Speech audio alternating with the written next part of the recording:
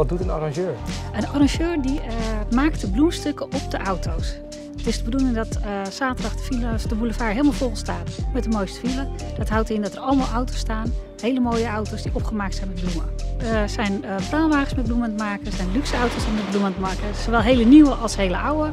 Vrachtwagentjes, kleine autootjes, alles is aanwezig. Hoe werkt dat dan met, met zo'n auto opmaken? Hoe, kan je daar iets over vertellen? Ja, dat, is, dat lijkt heel makkelijk van we plakken er een bloemetje op. Maar je moet eerst beginnen met de basis en dat is het uh, steekschuim. Dat noemen wij oasis. Er moet helemaal een, een soort net omheen gemaakt worden. Dat het niet uit elkaar valt, maar ook dat het de auto's niet beschadigt. Dus dat doe ik allemaal van tevoren. Dan worden er allemaal, op alle auto's allemaal touwtjes aangelegd. Daar worden die netten weer mee vastgezet. Dan begin je met de lijnen uit te zetten, het bladmateriaal en dan uiteindelijk de, de eindbloemen erin. Wat vind je van het resultaat? Ja, fantastisch.